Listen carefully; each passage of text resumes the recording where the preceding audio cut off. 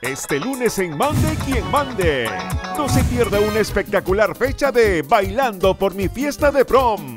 Seis colegios disputan su pase con grandes artistas en escena, en una gala de talento, ritmo y muchas sorpresas, donde un colegio será eliminado.